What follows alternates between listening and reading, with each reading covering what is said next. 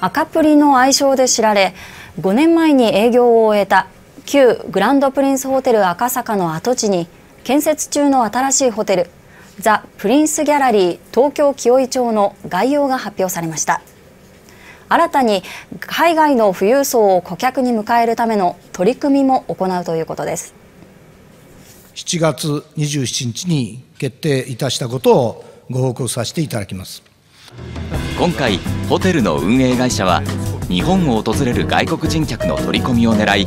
世界100カ国で1200件以上のホテルやリゾート施設を運営するアメリカのホテル運営会社と提携しました。さらにこの会社が展開する最高級カテゴリーのホテルブランドラグジュアリーコレクションに東京で初めて加盟しました。全世界において大きな信頼と顧客基盤を有するスタウドホテルリゾートという良いパートナーを得られたことを大変喜ばしく思います。ホテルはこちら東京ガーデンテラス清井町の中のビルの30階から36階に位置します。